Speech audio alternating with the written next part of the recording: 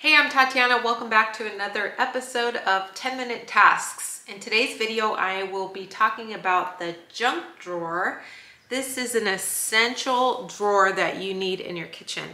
And for multiple reasons, it's those odds and ends things that you will need at some point, but don't have a specific place for it. Well, I'm gonna give you a place for it in the junk drawer. If you have a label maker, be sure to label it the junk drawer. However, it is more functional if it's organized.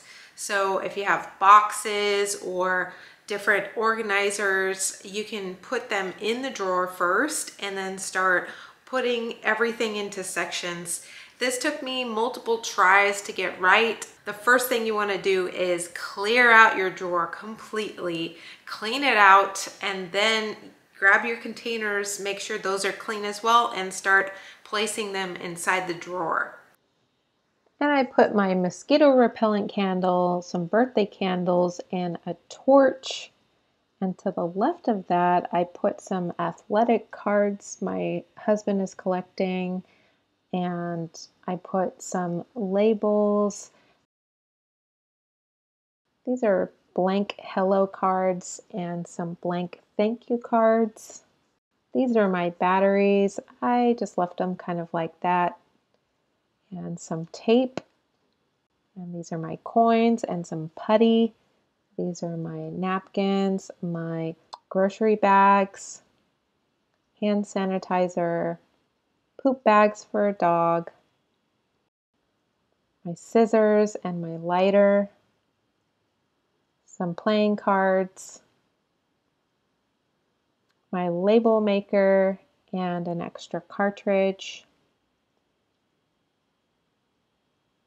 This I need to put on my couch. This is my ruler, some ant traps, some random things here like this clip and these pins in a ring.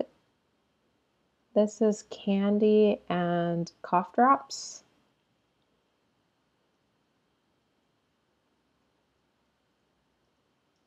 And here I have my little tools to open and close random things. These come in handy.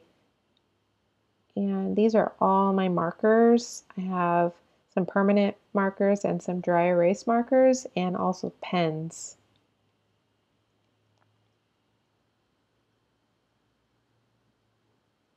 And my crayon box.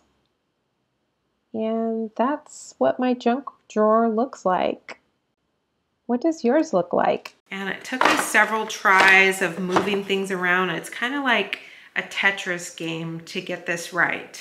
Okay, that's it. That's what I do to get my junk drawer organized and functional in the kitchen. If you don't have a junk drawer, I would highly recommend making one. And it's not to just put a bunch of stuff in there and make it cluttered. It is to make a functional space in your kitchen, an area where you think of one little thing and you can just go straight to it. You know where it is. So I hope this video is helpful. If it was, be sure to give a thumbs up. You can also subscribe to my channel and tap the notification bell too to be notified of the very next video. Thanks so much for watching and we'll see you in the next one. Take care. Peace.